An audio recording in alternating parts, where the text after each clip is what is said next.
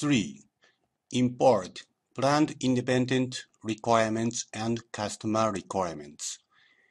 In this scenario, Asprova imports planned independent requirements and customer requirements. The meaning of planned independent requirements and customer requirements are the same in Asprova. Both are sales order in Asprova. Inventory data of AX and A are needed in order to execute MRP. Asprova executes MRP and creates replenishment manufacturing orders of AX and A. The TSV file of planned independent requirements is this AX 500. The TSV file of customer requirements is sales order to AX 200. Due date is June 12th. Here is June 11. And inventory data are inventory 1, item A 500, and inventory 2, item AX 100. And open ERP Asprova integration template.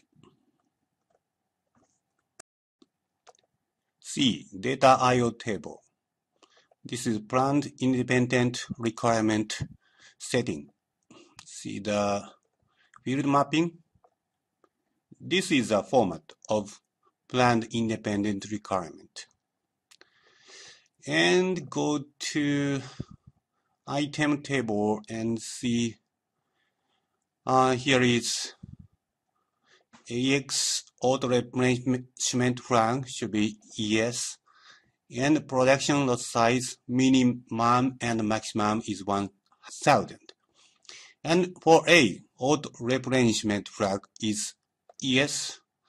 And production lot size minimum maximum is 5000